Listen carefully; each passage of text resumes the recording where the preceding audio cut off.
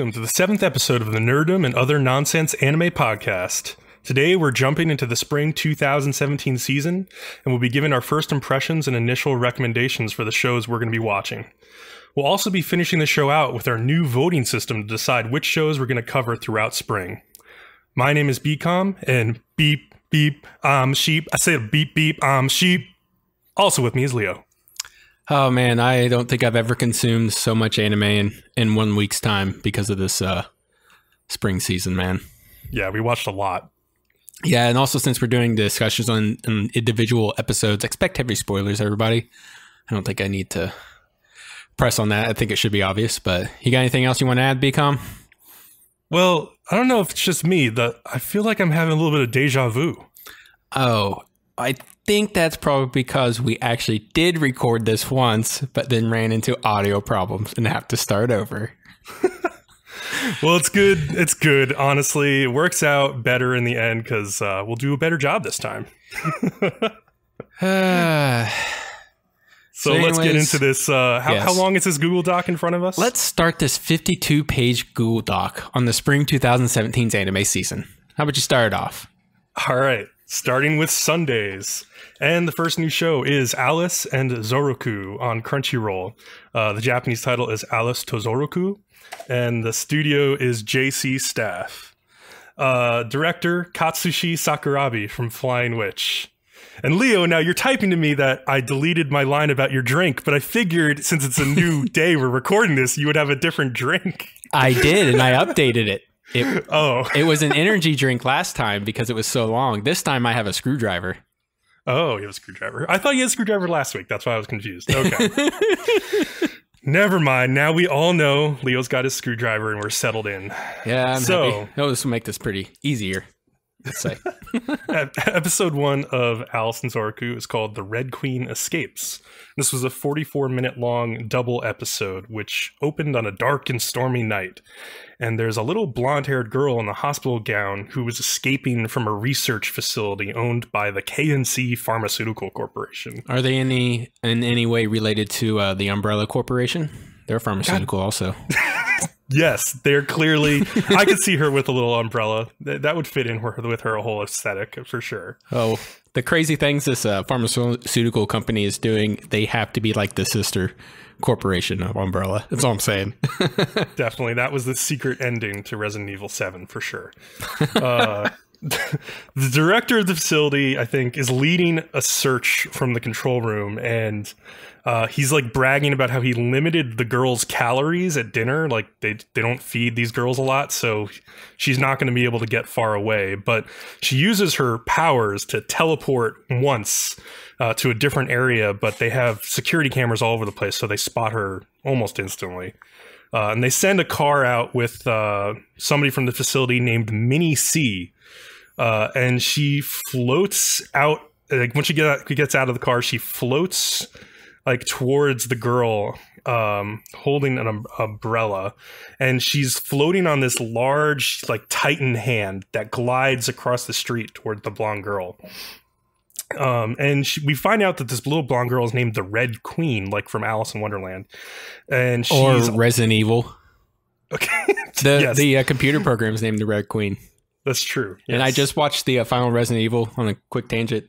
The final episode and it's like how many episodes was there? Like movie seven, something like that. Oh yeah, I enjoyed I the whole episodes. thing, even though some of it's pretty dumb. But it's really that's what it is. It's just dumb fun with action and all that stuff. But I will say that final movie, whew, that one was a little rough. I heard all right, that too. Keep going. Uh, so the little girl collapses because she's all out of energy, and uh, Minnie C tells her that Wonderland is the only place she belongs. So uh, more Alice in Wonderland references. So uh, another girl shows up though and starts fighting Minnie C. And in the middle of the fight, this girl drops the like four jars of like orange marmalade jam on the ground for uh, the little red queen. so she starts eating the marmalade to get her uh, energy back. And um, the girl who's fighting causes a lot of commotion uh, and tells her to jump. Oh, and tells the Red Queen to jump away to the biggest city she can imagine. Uh, and then the girl runs from light pole to light pole, knocking out all the electricity in the area. So the surveillance cameras are all down, and the Red Queen teleports away and disappears. So after that scene, we cut to this meeting at a place called Kawaki Industries, where a Yakuza boss is meeting with this old guy with white hair, who we find out his name is Kashimura. Uh, we find out that Kashimura delivered something for this Yakuza guy, but refuses to receive like any gifts or anything other than just his initial fees, just like a very old school dude. And after he leaves, he goes to this convenience store where he is a regular there, and the clerk tells him that there's this little girl. It's the same blonde red queen from before who's been sitting for three hours in front of the freezers looking at bento boxes. Uh, and she says the police won't help because she's a foreigner, and the boss won't help because he's a sleazy dude. So she has no idea what to do.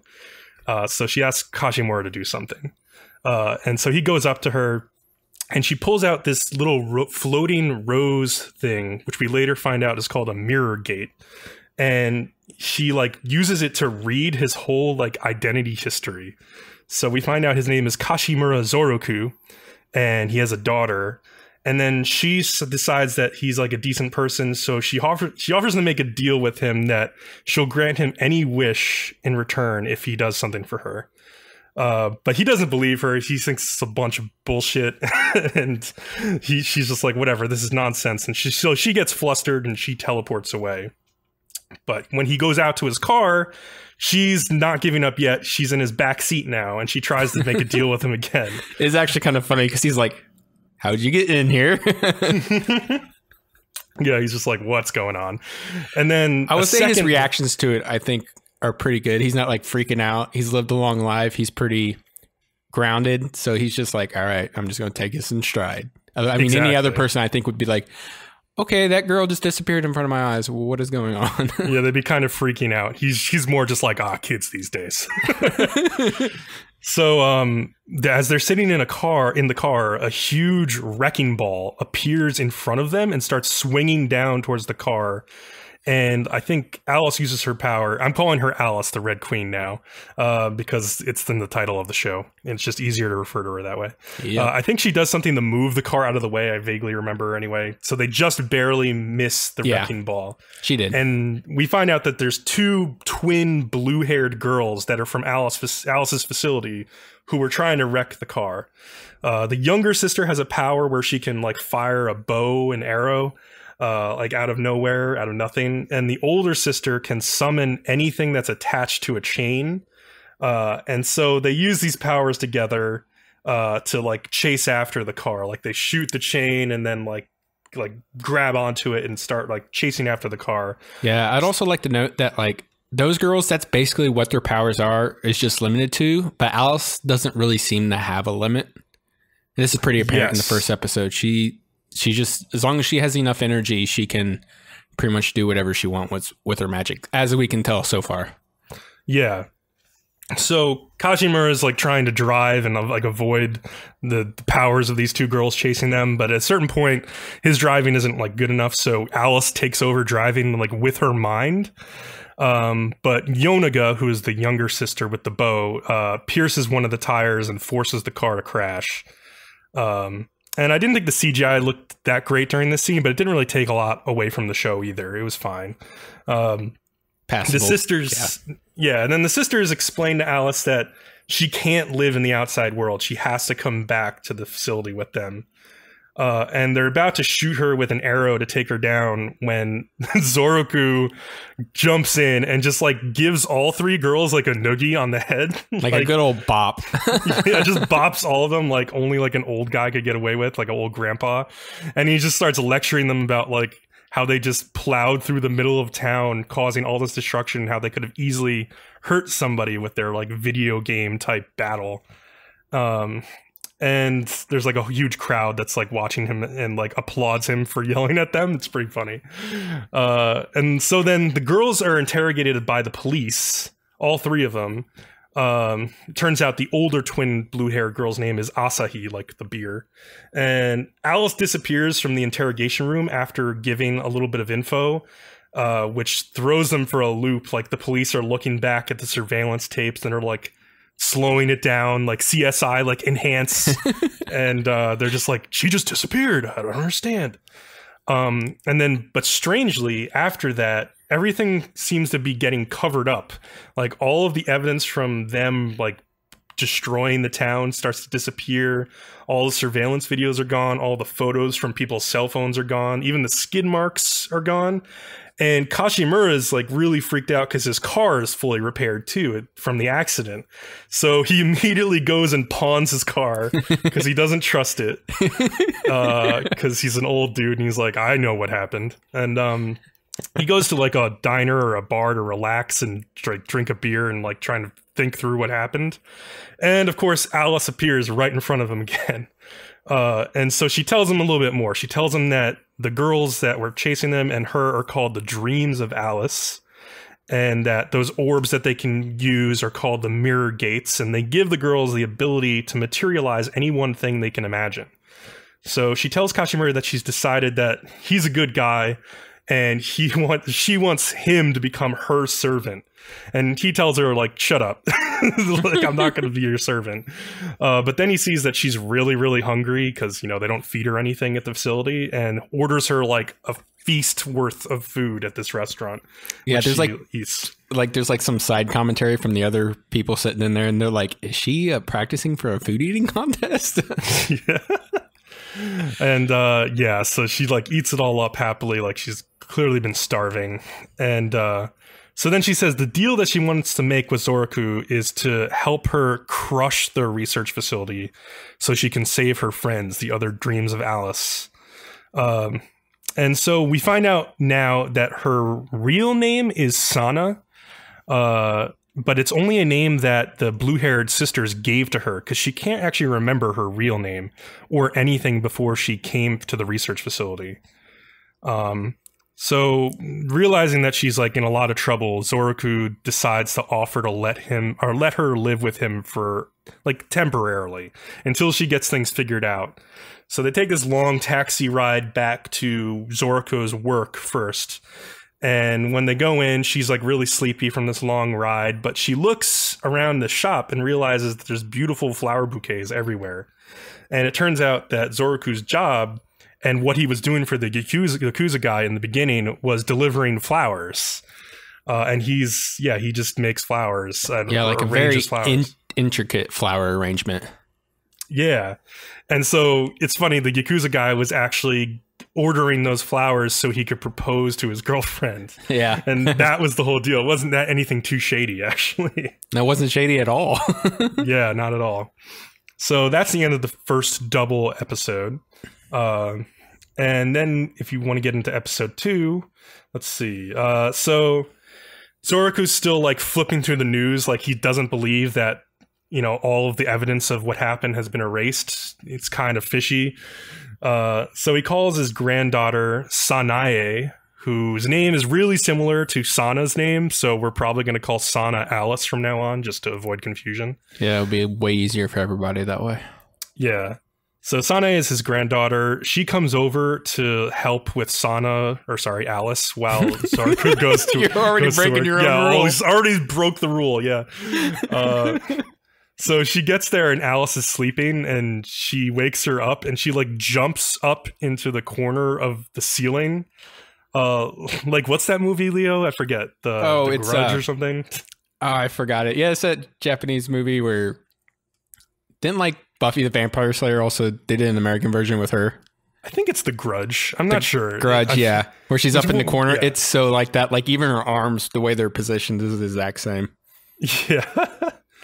Um, and basically, like wh- while while Alice was still sleeping, she was using her power to t- and she teleported Sanae into her dreams first and Sanae is like watching her and seeing what she's doing, and she's making these small graves. She's like a little kid, like younger than she even was. Or sorry, no, um, Alice is watching Sanae's memory through her dream. God, it's really confusing. Uh, so Sanae is making these small graves, one for like a little bug that she's burying, one for her goldfish. and then one for each of her parents who died when she was very young. So Alice is, is able to learn about Sanae's history through her dreams, basically, or through using her power to like enter her mind. I don't Um, think he was doing it. She didn't do it intentionally. She was asleep, right? I can't. I can't remember. I'm Yeah, trying she was to remember asleep. that scene. Like, and she just activated her powers on accident. Yeah. Yeah. So either way, Sanae is like really nice. She's kind of like a, a little bit of like an airhead, but like she's one of those anime characters who's always like ara, ara, ara, ara, constantly with her eyes closed, basically. And then so she's like, okay, I'm gonna go make you breakfast. So uh before she leaves though she's still trying to make uh alice calm down. So she gets this like hand puppet of a little pig and sticks it inside the door to try and coax her down from the ceiling. And sana or sorry god damn it alice uses her mirror gate to bury Sanae in real pigs. Like all these like real pigs just like start like infesting the room. Uh, and like Sanae drags Alice down into the pile of pigs and tickles her until she like starts laughing and stuff. Uh, and then uh, gives her some of like her old clothes and does her hair really nice and makes it cute. Uh, uh, meanwhile, like Zoroku is at work and he's calling an old friend named Ryu Naito, who's going to show up later in the episode. But back at home, Sanae is making pancakes for Alice, uh, and she's got a big appetite, so she wants seconds like immediately. Uh, so when Sanae t- Cell tells her it's going to take a minute, she uses her mirror gate to create a giant pancake out of nothing. Like, and then you know she see just like she just looks at this giant pancake and she's like oh so overwhelmed that she faints. No, no, no, no, no. She no. They did. Uh, they kind of showed that even her powers come with rules. Uh, so like she knows she made the pancake so big, and she even mentioned she's like, I still can't do food without taking away my energy, since she needs energy to use her powers. So if he, she uses her powers to make food, it should should be no good trade off for her. It should drain her. Oh, okay. I didn't. Yeah. So they that. gave That her powers sense. some rules and then presented it, and I liked what they did with that. It's good. Uh, but the pigs are still hungry. The pigs that are still alive from upstairs run downstairs and start eating the pancake. you make it sound like they killed the pigs off. No, they didn't kill the pigs off, though that will come into play later on in a later episode. for bacon. Uh, San, so Sanae does like a bunch of cute little girl stuff with uh with or no sorry um God that's a typo. Alice. Al, there's like a montage of Alice doing like cute little girl stuff and like having fun, uh, just to sort of establish how cute she is. Uh, and then Alice mentions how much nicer Zoroku's house is than the research facility where she grew up, and like we see that she basically like lived in a cave with barely like a sheet for clothing.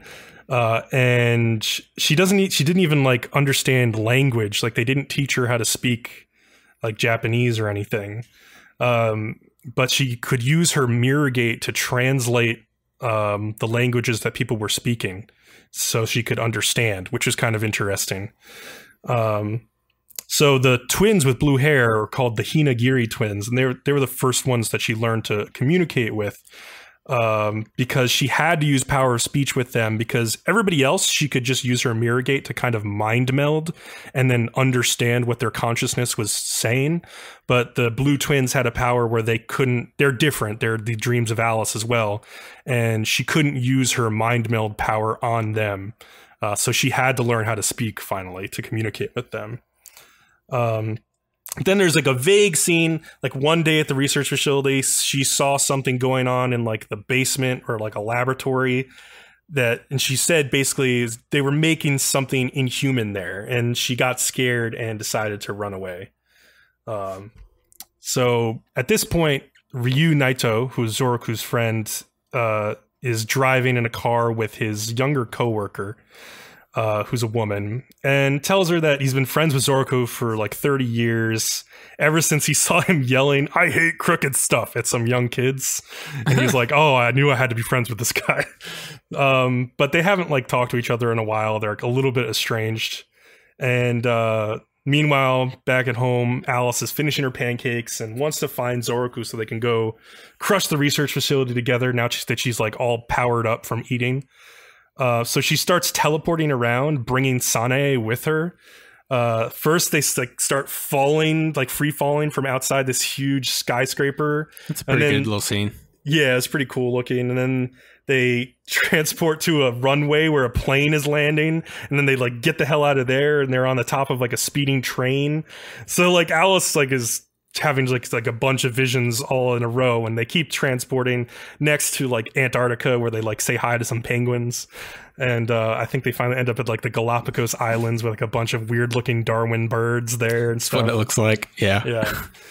and so um Sanae is like, this is fun, but can we please go home? And so, or else Zoroku is going to be worried about us. So Alice finally concentrates on back home and they teleport, but she forgets that there's a bunch of pigs in the bedroom still and they all fall on the pigs. Uh, which Bet that bedroom's a pigsty. Oh God, here we go. so she gets freaked out by the pigs and like instantly teleports to Zoroku's flower shop. No, but, seriously though, that room with those pigs in there that long, there'd be shit everywhere. Oh yeah, horrible. would be that would smell real bad. Um, she teleports herself, Sanae, and all of the pigs to Zoroku's flower shop, and they just start like like tearing shit up all over the place, wrecking the entire place. And then the episode ends with Zoroku like probably yelling at uh, Alice because we see her crying her eyes out, and that's how the episode. is the first two episodes of this show. Yeah, I'll say this: the chemistry between Zoroku and uh, Alice is just like so spot on, grandfather granddaughter. Yeah, it's really funny. I just like that he's like a grumpy old man. You don't see a lot of these characters as main characters in anime ever. So it's nice to see. Uh, it's like a, it's a cool relationship, and Zoroku's kind of like an old school badass, and I, I like that dynamic between him and Alice, who literally knows nothing about the world and is going to try to learn how to control her crazy powers, probably. Yep. Okay. Uh, we would normally be doing Little Witch Academia next, but we're skipping it this week. We'll be just doing the episodes on the next uh, episode of this podcast because we're just trying to get through the first impressions. So moving on to Mondays. Uh, you watched this one too, Frame Arm Girls. Take it. Yep, Frame Arms Girl, uh, airing on Anime Network. So you may not be able to get that in the US easily. Uh, Studio Zexcs and Studio ACAT are collaborating on this. The director is Keiichiro Kawaguchi, who did Sket Dance, uh, Please Tell Me Galko chan, and Mayo Chiki. Uh, so this is a blatant crash cash grab of an anime. Uh, I was in Japan a couple weeks ago, uh, and I went into like a Kotobukiya store there looking for figures, and they had a huge Frame Arms Girl station up in front because they are a co-publisher on this show, and they're just trying to sell like the cute little girl figures and like or they're basically like Gundam build fighters but with lewd little girls is basically what this show is. Yeah, exactly what I wanted. Yeah, I mean like no one. I can't say it's a bad idea. Like it'll probably sell. It'll probably. except, yeah. Correct. Uh, I think they could have done it a little bit better. So moving on to the quote unquote plot of the episode. uh, yeah, I, God, a young girl named Ao wakes up to find out she has a drone delivery to her doorstep. Uh, so Amazon drone delivery in real life. Um, which she thinks might be from her dad because her dad sends her stuff sometimes. Uh, but it turns out it's a frame arms girl, and her name is Gurai. Uh, and she's basically a figure that has come to life. And her skirt is about six inches too short to ever cover her underwear. So basically, her underwear is just always showing. Always. Very important to know. So Gurai asks Ao to put her armor pieces on because, because she's like a gunpla. Uh, but Ao is just not into anything. She kind of just seems like a lazy girl who just doesn't care about this and so she's like trying to get out of doing work so she says you know you're you're cute the way you are why why do i have to put your pieces on and uh instead she like inserts gurai's charging cord into her lower back which causes gurai to like let out like an orgasm pleasureful moan as she Get- gets her plug inserted yeah what kind of moan do you remember? Can you can you give us an example? it was like an ah kind of moan. Okay. Okay. Actually, that was a little sexier. I, I probably should have done that. You know, you know, a little bit less sexy. Sorry, guys. oh boy. So Keep going. Gurai explains that she is an AS equipped bot. She's got ass. So, but not a doll. She's an artificial self bot, which means that she comes installed with intelligence and then she will learn emotions from her owner. Problem for me is that she says that she has the intelligence of a 10 year old human. So this is a 10 year old girl we're supposed to understand and then you you get this little being living being intelligence and then you raise it to be emotionally intelligent on your own which kind of presents some moral issues especially Yeah. with how it goes on so gurai instructs ao on how to nip her model part parts off of the bracket uh, and they're also like trying to sell like the Kotobukiya like model nip tool like in this episode because this is all advertisement for model building. And so at one point, Al loses a small part from like the little nip board underneath their couch or something. So she gets on her hands and knees with her butt up in the air and exposes it to the camera as she searches all around the room. More fan service. Uh, but as she's doing this, she finds a family photo and she shows it to her photo album and she so shows it to Gurai, a little Frame Arms Girl. She explains her dad found a job overseas and so her mom went with him so she's living on her own, which is the most original setup for anime. uh, through the pictures Gurai starts to learn about emotions because she sees that Ao has like an emotional reaction to her parents, and so she's starting to learn a little bit. Um, but the next day, two more Frame Arms girls show up in another box, and their names are Steelette and Baselard. Uh, and so, Lard. yeah, I don't know. So, Steelette Oh, but that's not the worst of the namings yet. Oh yeah, that's true. There's gonna be weird weird names coming up today. So Stylet or Steelet wants to battle like immediately, but Baselard is just asleep in her box looking cute. So they talk to Gurai and they're like, hey, you're actually one of a kind. Nobody else in the world has activated a Gurai model yet.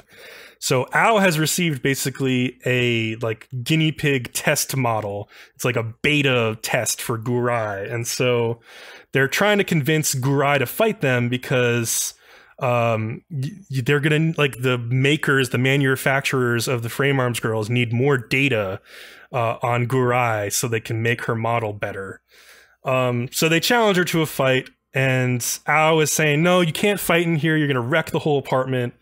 Except they're like no we have this trademark session base you can use which is a stand where they can, you can put the girls and i saw this in japan. You can buy these in kotobukiya to like put the girls on and pretend like you're battling with them kind of thing.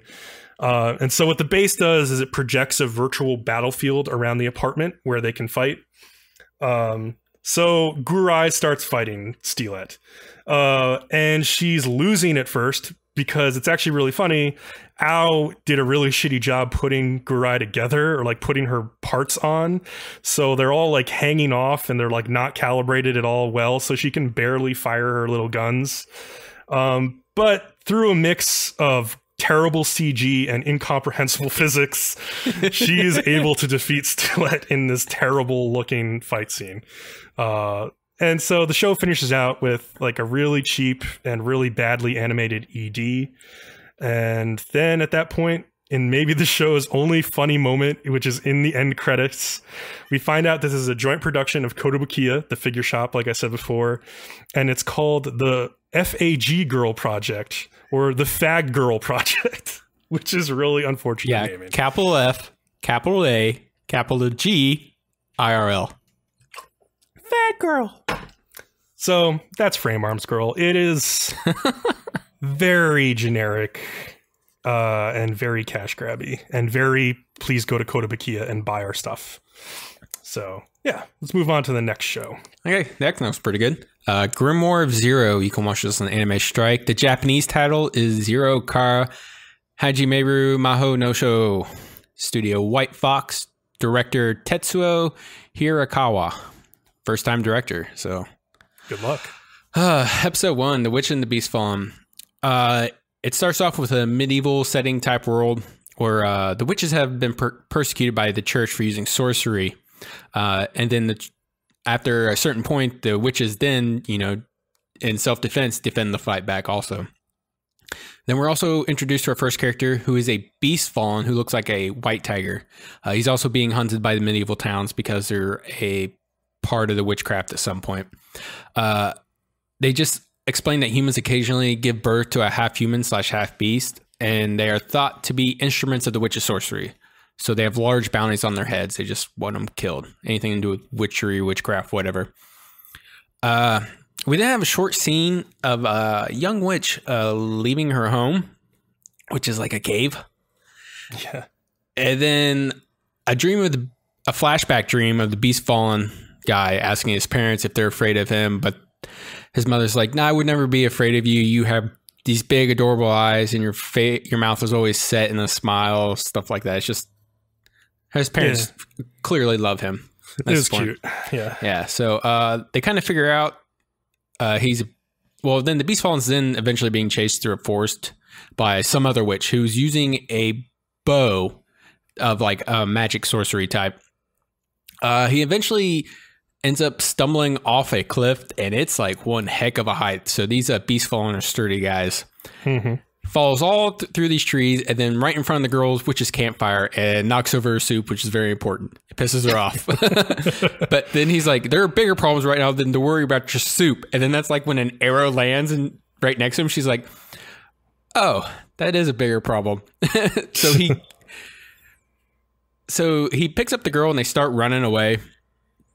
And then the girl's like, they just some monologue here, and the girl's like, "Put me down." He's like, "I can't put you down. We're being chased." And like, she grabs on this like tree branch over the top of her and gets off him, and then proceeds to encase the other witch and like basically a mud tomb.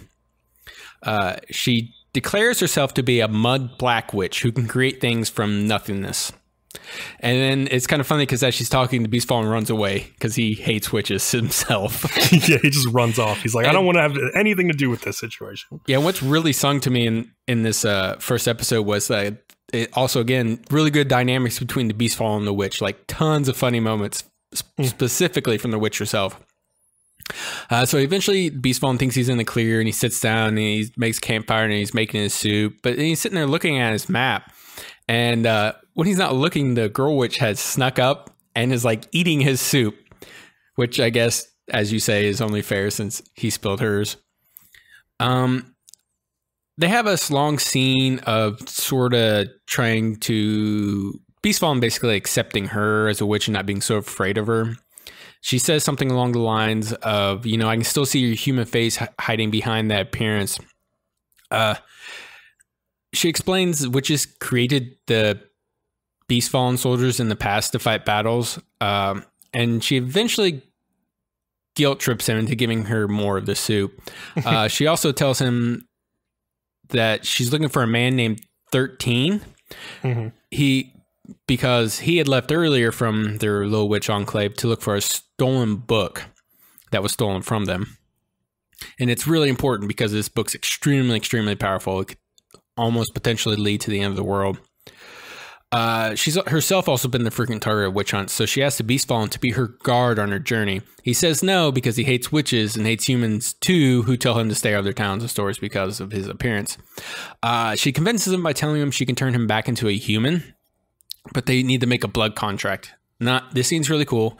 Uh, she swears she won't kill him, and when his guard duty is complete, she'll turn him back. Uh, she gains his trust by telling him he has a soft appearance, like his mother told him in some flashback, and that he smells like a cellar, a place she is fond of. You put for some reason, but she did live in a cave. Makes sense to me. Yeah, that's true. That makes sense. Yeah. I wondered uh, if they were, I didn't know if they were implying that she'd been to that same cellar at some point, but I, I, it was hard to tell. But like, yeah, their living places were very similar. Yeah, yeah, yeah. Because he spent a lot of time uh, like hiding in the barn when mm-hmm. people were trying to run him out of his town. Uh, so she writes up this blood contract, and she's about to activate the contract, but then he takes it from her and tears it up. But instead, he presses his thumb to hers, where they just pricked him for the blood contract, and tells uh, tells him we'll just do a mercenaries blood contract. She's like, all right, this works too. He has basically come to accept and trust her. Uh, she tells him her name is Zero numbers. yeah. He's he's about to say his name, but she stops him and says she only calls her manservants by name, and that mercenary will be just fine. There's just another little bit of the dynamics. Uh, Zero isn't her real name, but she jokes that if he ever tries to figure out her real name, she'll make him her obedient servant or like kill him or he'll regret it or something along those lines. Uh, the Beast Fallen has a nightmare flashback to when he got out of being trapped in the cellar or barn, and he took revenge on the human hunters, which were other mercenaries. It basically killed his parents, and he tears them to pieces and kills them all. He he wakes up to find that Zero has basically cuddled up on top of his stomach slash chest and fallen asleep. He Yeah, throws her a, off. I was gonna say she's like a pretty small girl, like in, Yeah, a, she's, in she's stature. tiny, and I think they did it without her making her look like she's way young. She's just a small bodied person. I agree. Yeah, She yeah, she's not. I don't know. I, I'd have to see more if I'd even call her a lolly yet, but she's and she seems mature, well beyond sixteen, I guess. I would not call her one. Yeah, because she has also she like also besides not being like super young looking, she's also not been like sexualized like a lolly, which is Yeah. one of my like definition terms for calling yeah, my definition that, for a lolly is an underage girl being sexual sexualized in some way. So basically. yeah. they haven't done that, so I can't call her one. Yeah. Uh, but he throws her off, and she said he should felt privileged to be sleeping with an unrivaled beauty in his arms. Just- Yeah. This show's just peppered with these little jokes, and they're really funny. Yeah, she's Uh, she's a little arrogant, and uh, I like that about her. She's got a little attitude on her. She's like arrogant, and she knows she's arrogant, so Oh, she yeah. just goes with it. It's great. Uh, they make breakfast, and Zero says she can track 13's man into the capital.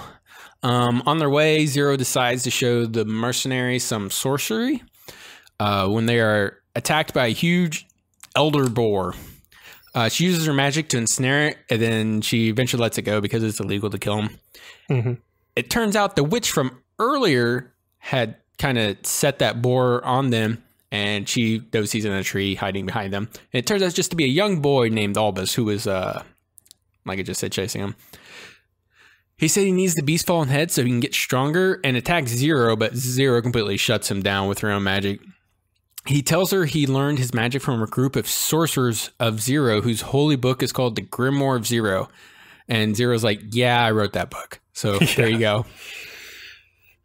Yep, that's basically the first episode. And then Yeah. I mentioned the ED. I love. It's a really soft, gentle song over these like cute images of Zero like peeking out at uh, the mercenary from behind a tree, and then like getting closer and closer to him, and then like jumping on his stomach and like curling up to cuddle. It's like what we didn't see from that uh, that earlier scene. Basically, is like her like deciding if she could do that while he was asleep. It's just really cute. Um, yeah, I'm really digging the lore and the uh, comedy in the show. I can't wait to watch some more. Yeah, like Alice and Zoroku, I just really like this dynamic between the the Beast Fallen and uh, the character of Zero. I think they're both really interesting. I hope to find out more about them going forward. so Alright. you you should take this next one. Yeah, also. Uh, the Laughing Salesman. You can watch this on Crunchyroll Studio Shin-Ei Animation. Director Ogura Hirofumi. Um, he hadn't really directed anything else, but just episodes of Gintama and JoJo's Bizarre Adventure, Stardust Crusaders. Really, the only things I could find worth mentioning.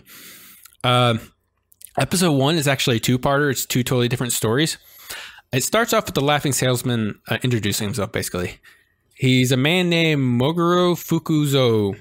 Uh, he deals in filling the holes in people's hearts, which comes out to make no sense whatsoever. man, Is he from Persona Five? uh, Pers- Persona 5 makes sense, though. yeah, well, parts of it too. I'm four hours into it. I'm at the first palace, so I'm getting ready to take out whatever that guy's name is. He, he something. no spoilers. Uh, that one wasn't spoilers. So, anyways, his name Moguro Fukuzo deals in filling the holes in people's hearts. His first subject is an office worker who's just kind of depressed with his job. Uh, his coworker invites him out to lunch one day, and he takes him down, and they have like the way Japanese buildings, some of them are designed. They're like there'll be office buildings on some floors, and then there'll be like a shopping district on one or a restaurant district, crazy stuff like that. But there's a instead of going to like their restaurant district, he goes to a different floor and he takes him to a club called Daydream where you can drink during the day and the hostesses are gorgeous.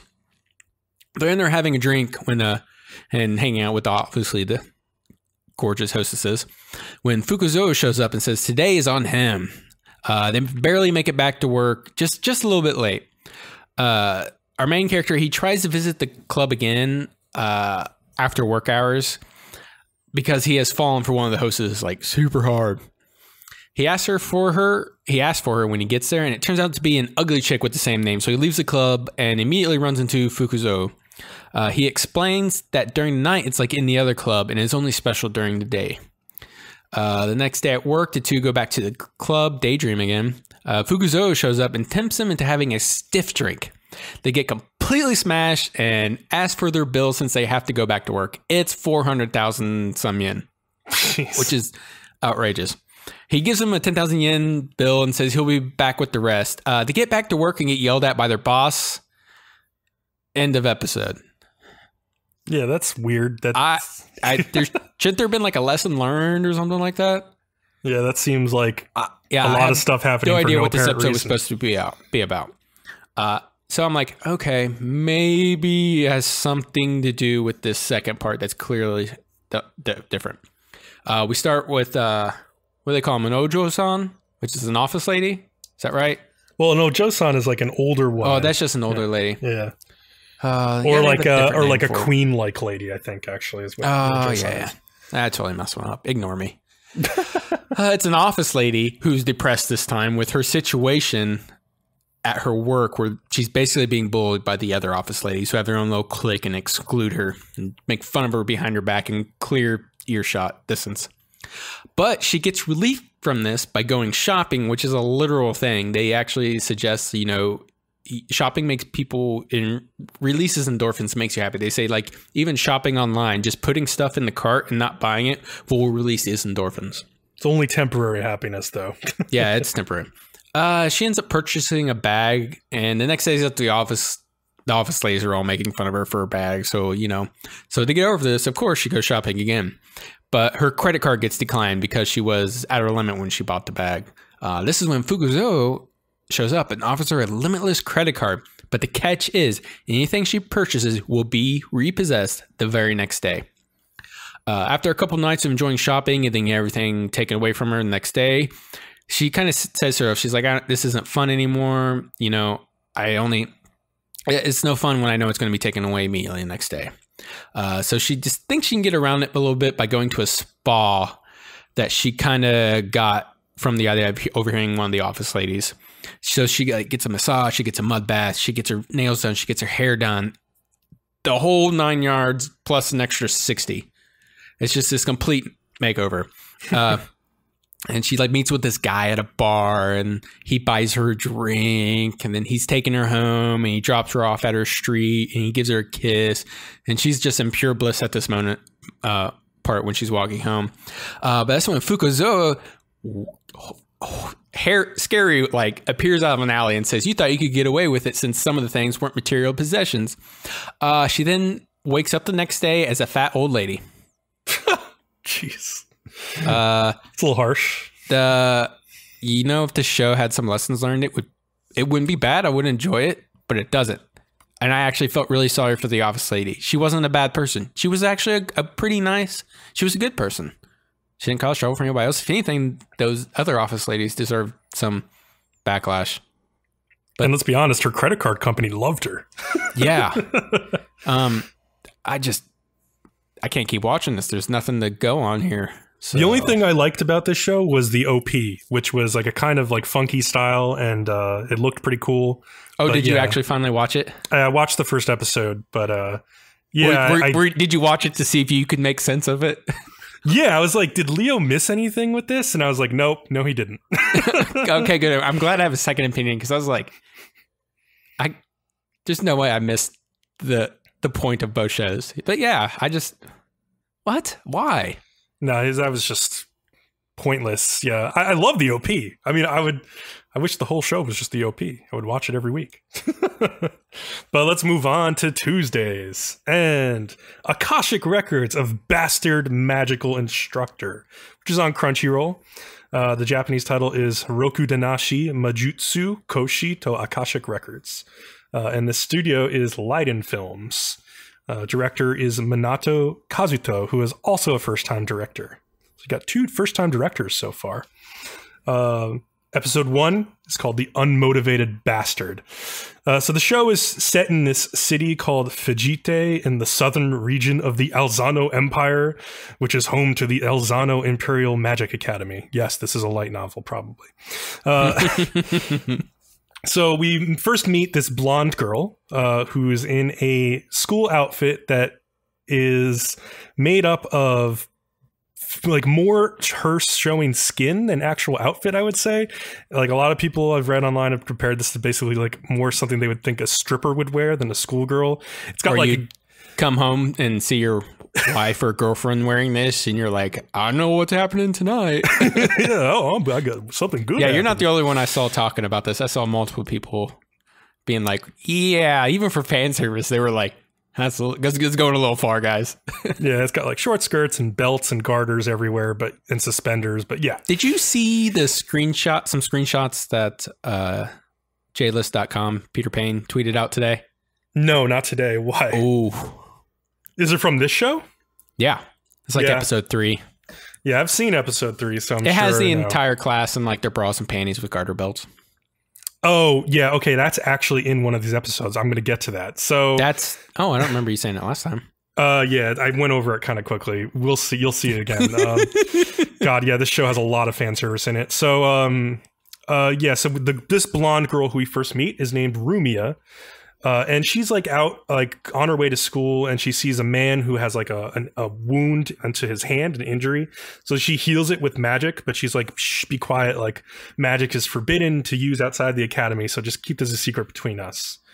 Uh, and then as she gets towards school, she meets up with a purple haired girl named Sisti or Lady Sistine, uh, who she calls. And um, she has like a ribbon that she wears in her hair that she ties up so it looks like cat ears, basically.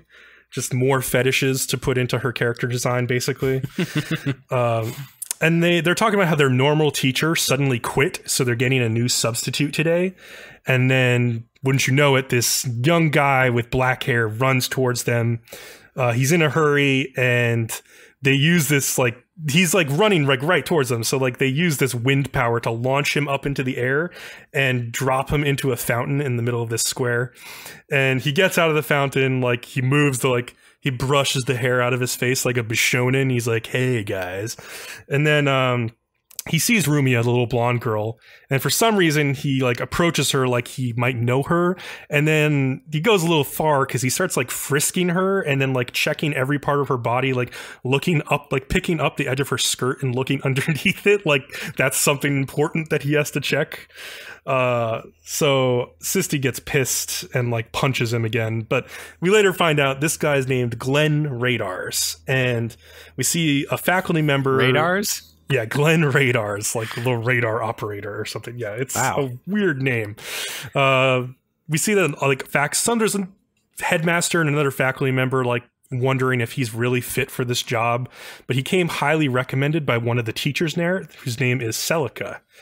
Um, but like while they're wondering about this, we see him get to class, and obviously Sisti and Rumia are kind of shocked that he's their new teacher because of how they met him. Uh, and he like gets there, he's really like not into the class at all. He writes, he takes a piece of chalk and writes on the blackboard self study in huge letters, and then just like sits down behind the desk and like lets them study. Um, the professor who recommended him is this witch named Celica. Uh, and she's like this big boobed blonde woman uh, and she claims that she'll take full responsibility for any of Glenn's screw ups if he does screw up, but he, she has a lot of confidence in him. But meanwhile, Glenn is being a really crappy teacher in class. He's not answering any of their questions, and as soon as the bell rings, he bolts and just leaves. So he's clearly not into this. Um, but now that we've made it halfway into episode one of this show, it's time for the girls to go get undressed in the locker room. Uh, and this, Leo, is where that screenshot would have been posted from. Oh, okay. it's it's all of the girls in the school, like in like their bras and panties, and we find out that Sisti is one of those characters who is like a boob fondler. So she comes up behind Rumia and like starts grabbing her breasts, and then Rumia actually reacts like they're basically in a hentai or a dojin because she starts getting like really red in her face and like is like on the verge of orgasm when who walks into the locker room but Glenn radars? Because he's like, oh whoops, I went into the long wrong locker room.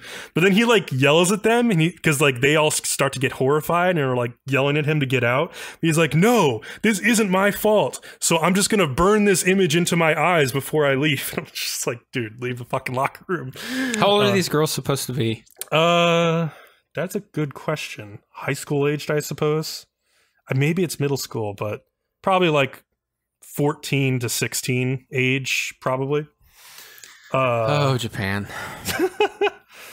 um. So then a bunch of uh, nothing happens for the rest of the episode. Um, but Sisti is finally fed up with Glenn and the way he doesn't teach them. So she takes a, her glove off, which is part of her uniform, and throws it on the ground in front of him, which is her way of challenging him to a magic duel. So he actually accepts the duel, which surprises everybody. But so they go out to like the courtyard, and he's like, okay, the rules are we're only going to use this one spell called Shock Bolt. And the reason they use that is because it's a safe spell. It can only paralyze your opponent, so it won't do any crazy damage or hurt anybody. So they get ready and they're like, oh, is Glenn going to like be able to beat Sisti. Like she's the top student. And in like two seconds she beats him. because like apparently in this world, the faster that you can chant uh, an enchantment, like the faster you can get an attack off. So he's like too slow at saying the words, so Sisti beats him like almost instantly. So that was a really bad first episode. Like, and I kind of would have almost dropped it just after that with like the level of dialogue and like how Glenn had no redeeming qualities whatsoever yet. But let's move on to episode two. Let's give it one more shot. Which is surprising me because I see people enjoying this show. Yes. And I intersected and I brought up something specific that happens in episode two, and they're like, yeah, that was awkward. Yeah, and I was like, really? That's all you got from that? But go on. Yeah, I think a lot of people will ignore the horrible thing that happens in episode two because of some other good character developments. Because let's be, we'll be, I'll be honest, Glenn gets better in episode two. So uh, at the beginning, Sisty's in an argument with, about, with Glenn in class about what the point of even studying magic is in this universe.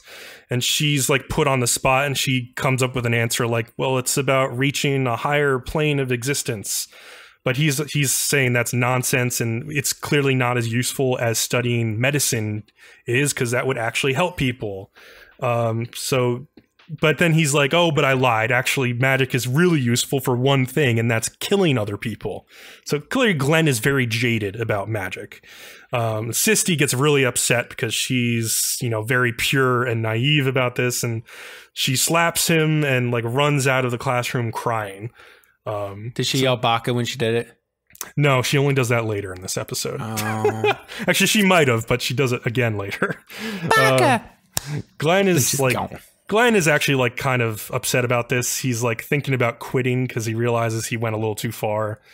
Uh, but he sees in a classroom across the way, he's like standing on the roof of the school building, that Rumia is practicing making magic circles, like summoning circles. So he goes over and finds her, and she tells him that she's having trouble completing the circle, and he actually goes into teacher mode for once and he tells her like you're concentrating too much on the theory of the circle and not looking and thinking about the things that you can fix that are right in front of you. And he takes out like this vial of mercury dust or whatever and starts pouring it around the circle to make it more substantial. And once he does that he tells her to try it again. And she does. And like the summoning circle is really beautiful and perfect. And she's like really impressed by Glenn. And like she's never made a circle that looked this good before. So she starts they leave and like she starts asking him questions and, about himself. And so he tells Rumia that he's been a hikikomori basically for the past year, just like living off Celica's goodwill. Um, but he won't tell her what he was doing before this past year. Uh, uh, and so that's a little bit mysterious. So Rumia tells him that she just wants to learn magic to benefit humanity, but she also has a personal stake. She wants to pay back a debt that she owes to this mage of justice who rescued rescued her three years ago when she was captured by some evil mages. Uh, and we see a flashback of this mage of justice, and he looks exactly like Glenn from behind, like it's an open secret. And Glenn even asks her, Are you? And we, we remember he kind of recognized her from episode one, too. So it's basically confirmed that he's the guy who saved her before. Apparently, looking up her skirt is how he recognizes her too, right? yeah, it's really important for identification purposes, you know. Uh, so we get a scene of Sisty who's having a flashback to her uh, late grandfather's deathbed. Uh, and he was telling her that he was a mage too, and his whole life he was trying to reach this place called Melgalius's Sky Castle, but he could never get there. And Sisti, as a little girl, told him that she would do everything in her power to become a mage and fulfill his wishes. So that's how she feels about magic, and that's why she's so upset by Glenn. But to her surprise and everybody's surprise, at the start of class the next day, Glenn comes in and he's bowing in apology for what he did the day before. Uh, and then he goes, he starts like acting like a real teacher. He tells them, you know, you laugh about that duel we had yesterday with Shockbolt, but it seems like you guys haven't actually mastered it yourselves. And he shows them that if you break up the chant into like four parts, the sentence that you have to say instead of three parts, it totally changes the outcome of the spell uh, as does like using different words or like saying it quicker or faster. Like you can change the direction that the spell goes or like the strength of the spell. So he actually knows a lot more about magic and enchantments than he was letting on. Um, and then he uses Sisti as a way to prove that just uh, using words can change the human heart by going up to her in class and saying, oh little white cat which is what he calls her. I love you so much. And so she turns beet red and like gets really embarrassed. And she's he's like yeah look class like my words just proved my point. point. And then she gets really upset and throws her textbook at him and screams baka baka baka like you wanted her to. Oh gosh. So uh, basically at, after that point glenn starts to become a very popular teacher because he starts actually teaching. And Celica is bragging to the headmaster about how she was right about him all along. Yay uh, for Celica. And so everything's going good. Glenn's starting to turn into a good character. And then something really horrible happens. So evil mages attack the academy and they're looking for like, Rumia like they all like it always happens. Yeah, always. like evil mages do. And uh turns out her full name is Rumia Tingel, but then one of the evil mages is like, actually, you're Princess Ermiana, and we know that you've been in hiding. Uh, so she's a princess who nobody knew, basically, except maybe the headmaster of the school. Uh, and then while they're taking her away, for some reason, we get this scene where one of the evil mages pulls Sisti into a side Which one's room. Sisti? is the one with purple hair and cat ear ribbon. Okay. who is like very prim and proper. So he takes her into his side room and he's like uh he starts like forcing himself on her basically and he tells her like yeah your friend wouldn't have been worth it because she had determination in her eyes. But you i can break your mind and you're the exact kind of girl who i like to take advantage of. Because like you said she's prim and proper and you always want to see those types be pulled down. That's what yeah, they're going for right? Basically. Yeah. but at the same time the camera starts like lingering on her body as he like undresses her. Like he takes her shirt off and then he starts like taking her undershirt off and like lifting it over her breasts in her bra. Like it's very like long lingering scene and she starts crying and like praying for somebody to help her. Oh and it's God. really awful. It's like a really leer leer lurid like rape scene that or attempted rape scene because glenn shows up and then the worst part of the scene happens. So Glenn walks in and he says, This is this is Glenn sees his student being sexually assaulted by an evil mage, and he decides, I'll make a joke out of this. And he says, Oh, I'm sorry to interrupt, and starts leaving. And I was like, "Are you fucking kidding me? Like, this is how you're gonna build this character into?" And you said like Sisti's like crying. She's crying. She's about to be sexually assaulted. I'm sure she's never had this happen to her before. It's a horrible time. Like, it's a horrible moment for her. You don't make a joke about that. Like, especially with one of your students. Like, but Glenn is supposed to be such a funny character. So ha ha ha. Oh, my student's getting raped. I'll make a joke. That's that's how the show goes. So anyway, Glenn. Ugh eventually comes back after she screams for him to come back and help her and comes in and he uses this magic spell that he has created himself called Fool's World. Uh, and what the spell does is it causes all magic in like a radius around him not to be able to activate. So he can't use magic and the mage can't use magic. So basically, it just means they have to use physical fighting. So he gets into a fist fight and he's like winning the fist fight. And then he's like, I'm going to finish you off with my magical punch. And so he gets ready like he's going to punch him and then he just kicks him in the balls and knocks him down. it's like that's his magic punch is a fake punch and then a kick. Uh, so kick to the balls, kick Yeah. to the groin. Exactly. So, um, like you said, like some people are liking Glenn's character. For me, using the rape scene for one fan service and two comedy was just too much, and I was like, "No, I'm dropping this show." Like I was just done at that point. I don't blame you.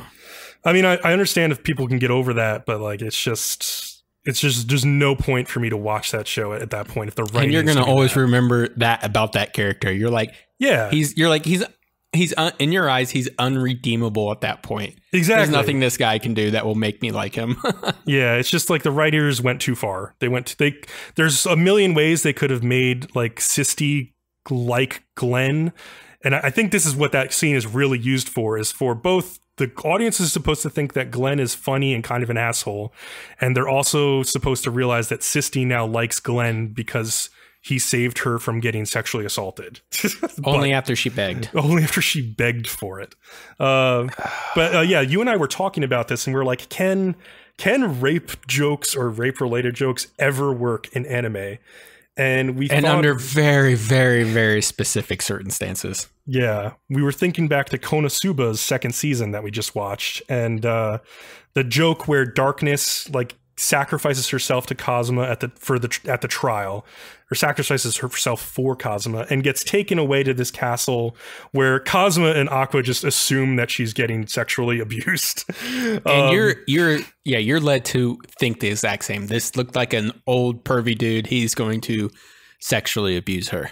Yeah, and she's there for like a week or a couple weeks, and she finally comes back, and they're both like they both like presume the worst. They both go up to her and they're like, "There, there, you can cry if you need to," and she's like, "What? What are you talking about?" And they're like, "We know, we know." Yeah, Kazu, Ka- Kazuma's like, just go ahead, take a long hot bath, relax. We can talk about it if you want. And it's under the presumption that she was being raped. yeah, and there's a lot And of reasons to a- think that she would be because like she's Yeah. a masochist, a sadomasochist, and also they're both assholes. So it's it's kind of in their character to think this. And then I was thinking about why this joke kind of worked. And like, number one, first of all, Darkness was not actually raped. So that's a big deal. Like, so you can kind of laugh about it. Two, nothing even remotely close to rape we saw happening to her. Like, we saw her being like undressed, but that was for a different reason, clearly. They were just trying, the servants were like trying to dress her up or something like that. Exactly. And then like number 3 I said I think this is the most important. Like this is like a well established series at this point and all of the characters were established as like kind of assholes or kind of masochists and we knew how they would react in this situation. Yeah, So it was, made they were all 100% in character. Yeah. For this one Yeah. it's the second episode of the series and they're trying to sell Glenn's character to us basically and this is just not a good way to do that. So But either way, I don't ever advise doing rape jokes. yeah, it's just almost always a terrible idea. yes, yes, yes. So let's move on. All right, to our next show. I'll do the English title. You can do the Japanese title this time. Okay. What do you do at the end of the world? Are you busy? Will you save us? And please give us the Japanese title and try not to trip up. The full Japanese title is Shumatsu nani shitemasu ka? Isogashi desu ka? Sukute moratte ii desu ka? Which is shortened to Suka Suka. Thank God. yeah, that's ridiculous. Uh, studio Satelight and C2C. Two studios. Interesting. yeah. uh, director Junichi Wada. He did uh, Disappearance of Nagato Yuki-chan and Ragnastrike Angels. I'm not familiar with that one. Yeah, I haven't watched it either, but uh Disappearance of Nago Yuki Chan was kind of disappointing in my opinion. So so we start off with a red hair girl talking about how some guy made her so so so so so so so so happy. It stresses this. and and that right now she knows she's the happiest girl in the world. Again, she's stressing this. Then she jumps off the airship. Airship. Alrighty then. skip to island 28, town of Grimjahal. We have our main blue-haired girl chasing a cat with a pendant in its mouth. Uh, she finally corners it. She, they're like up on some scaffolding, but then the cat jumps at her, and they both are falling off that scaffolding. And importantly, she says something about not being able to generate venenum in time. Uh, we see a man in the crowd do some like special magic move fast stuff, and he basically breaks her fall with his body. Uh, her hat comes off, and everybody she and everybody uh, sees that she's a human. And by the way, let me note that everybody else is a beast type humanoid. Yeah, and, and they, they called her a disfeatured, is what they call her, which is weird. Oh, did they? Yeah. Yeah, well, they did dis- discriminate against uh, her for being uh, a human, basically. Uh, the guy who broke her fall covers her head with his hat and grabs her arm, and they run off together. Uh, this is when he buys her a witch looking hat, which is basically her signature look excuse me. And then she asked him to escort her somewhere. It's, now we get this very long scene of them wandering around and getting lost a lot. And it, yeah, this is uh, set to the Simon and Garfunkel song uh, "Scarborough Fair," as sung by some female vocalists. And I just thought I'd point that out because it was actually kind of pretty. It's pretty sounding. So, but you could take it away. oh, I didn't notice that. I'm surprised. Uh, yeah, it's it's a pretty long scene, but they finally make it to the spot where she wanted to see, and it's a view which is basically in the middle of the city, but really high. She's like, "I'm so glad you sh- showed me such a good time," and she's like, "But my time is up now." Then like some dudes walk up and go to take her somewhere, and she says that he should forget he ever met her. Okay. yeah. yeah. By the way, I'm calling them dude and blue hair girl because we don't get names yet. Not yet. And when we do get names, it is glorious. Oh, when we do get names, I'm sad I ever asked for them. uh, it turns out the guy is a salvager, and he lands a job for the army to be a caretaker of a quote warehouse holding special weapons on the French's sky of Archipelago Reglis Isle, Island 68. and then this is the part where I noted I wish this show would give me names already. yeah. So he's goes to the island. He's walking on some like old wooden pathways that are over like kind of a swamp area, shallow water. Well, he's attacked by a small girl with a wooden sword. Uh, cute little fight scene. She's trying to hit him. Well, she ends up tripping up and like the wooden supports give away and uh, she's about to fall in when the dude kind of grabs her and like spins and he lands on his back and he's holding her up out of the water. And then that's when blue hair girl from earlier comes running up and scolding the little girl. And of course the two are like, what the heck when they finally see each other.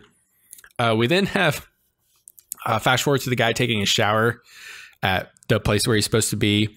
And you would note that he's covered in like tons of scars. Just his whole body is just scarred up. Uh, he hears a knock on the door and he answers it, and he's greeted by a name that he's a maid. Bleh, I'm stuck on names. A maid that he seems to know, and she is named Nygglatho. N y g g l a t h o. How how how did you put all these people's names? Or like Ancient. Oh, yeah, they're like uh, Lovecraftian names or something like something between like a Cthulhu monster and like somebody sneezing or something. I think I read this in a, a review of the show online. it's not my own original uh, thing, yeah. but it made too much sense. And she also calls him Willem. So I'm like, yay, finally some names. Yeah, his and last name is also Kmetsch. It's Willem Kmetsch. yeah. like I was, I would expect his name to be like Wilhelm, but just Willem which is yeah. just weird to me. So it seems that Nygglatho is a troll, even though she just looks like a busty maid. Uh, she also apparently really, really, really wants to eat Wilhelm, but she knows she shouldn't, so she reframes. Uh, it turns out they're being spied on by four little girls, and they're like leaning on the doorway, and they fall in, and then like Nygglatho threatens them to go to bed, or she will eat them, and they run off, and she ends up taking Wilhelm to his own room, but the little four little girls are back, and they, uh, of course, again fall through the doorway as they're trying to listen to him. Uh, and it basically, and then all four of the girls are in there, and it basically turns to a Q and A for Wilhelm. But first, we get to learn their names. Uh, we get the first girl, Collon. Yep. C O L L O N N. Yeah, she's got pink hair and she's a little bit mischievous. Yeah, and then we got Pannibal, P A N N I B A L. Yeah, that's the purple haired girl who had uh, tackled him before when the, he first arrived. All right. Then we get uh, Tiat, which is basically the simplest one so far. So far, She's got green hair and she's kind of an airhead. and then Lakhesh, L A K H E S H. And she's got blonde hair and she's constantly apologizing. And in the show, they keep, they don't even pronounce her name like Lakesh. They, like, whenever I hear them pronounce it in Japanese, they're always like Laksh or something. Like, so I don't know what to think her name actually is. Oh, okay. Yeah, I'd only seen that first episode and seen anything after that. Mm-hmm. But then our blue hair girl shows up and tells the kids to go to bed, so they go. And then we finally get her name, and I still regret it because it's Chtholly. Yeah, so this is where we get like a real big Cthulhu monster hint. yeah. Ah, so Wilhelm is still curious about where the special weapons are they supposed to be watching over, and she basically explains, "Oh, the girls are the special weapons."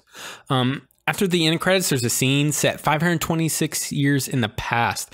The guy looks totally 100% like Willem, and he's having a conversation with another girl about what he will do when he comes back from the final battle. Uh, the narrator finishes by saying that humans were wiped out within the next year after that battle, and the guy never came back.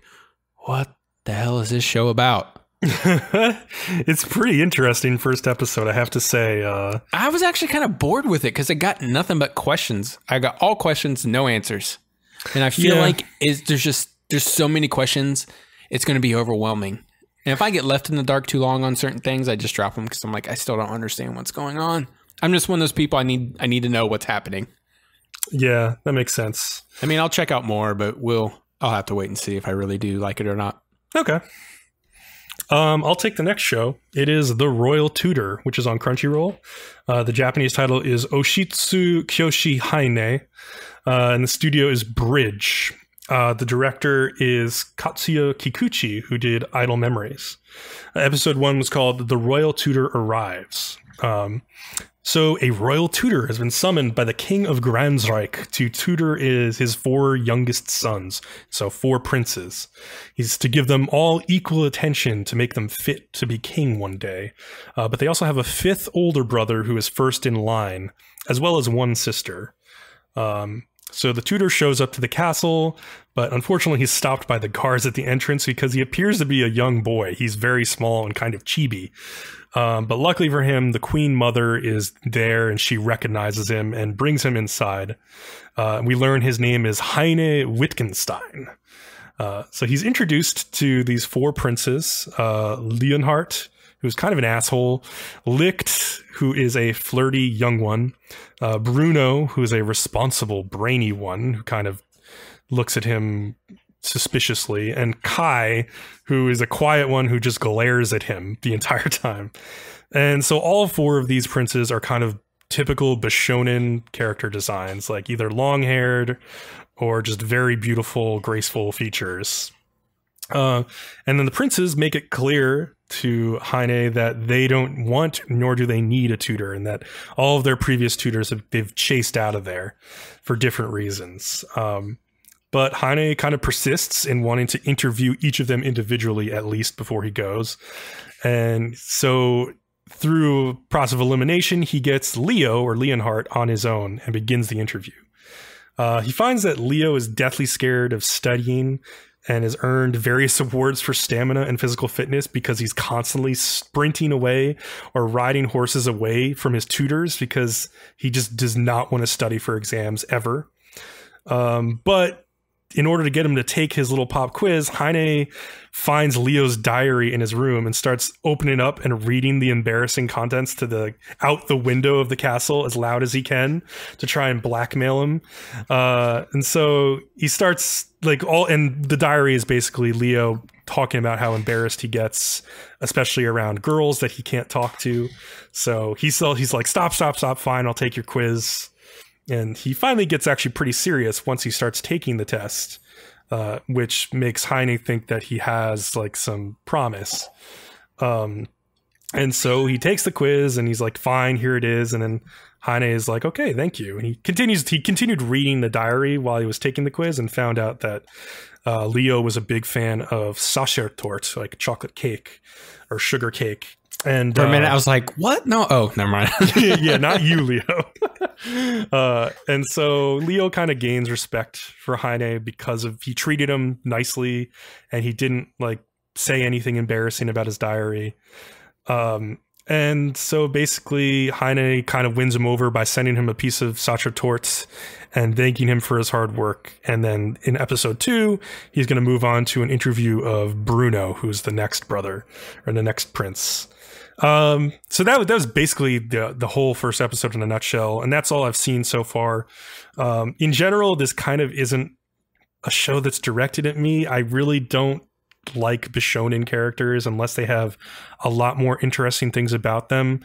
These ones seem pretty one note, and you can tell like this show is going to be set up in a way where the royal tutor kind of finds what's important to each of them and then trains them along the way and they do cute things and blah blah blah. It's just not for me. It's just you see these shows every season and unless there's like something miraculous happening like a great source material, I'm not going to be interested in it. So let's move on to the next show. yeah, you said it's like just a big bunch of uh, Bishonen characters, which is neither really of our thing. So Yeah, yeah. I'll have to go just to not, another not really interested. another podcast. We'll cover that this show. Maybe. Yeah.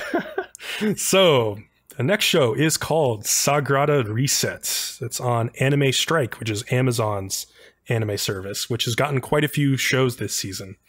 Um, Japanese Uh, title. pointedly good shows, and last Yeah. season they had Scum's Wish, so they're doing something right so far. Yep. So, and yeah, they're making definitely big moves this season. This is one of the first shows they have. Uh, Japanese title is Sakurada Reset. The studio is David Production, who are known for doing like everything JoJo. Um, but this is not JoJo. Uh, the director is Shinya Kawatsura, who's one of my favorite directors of anime. He's done shows like Kokoro Connect, Non Non Biyori, and very recently Tanaka Kun is Always Listless, which was like my favorite comedy show of last year. Uh, and I'll just say this is not one of my favorite shows so far.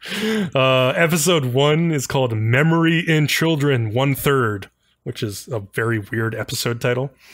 And the episode starts off really awkwardly with two guys playing basketball, and they seem like they're friends who know each other, but there's some really forced exposition dialogue where like one of the guys literally says to his friend, "My name is K Asai." It's like, wouldn't you just say my name is K?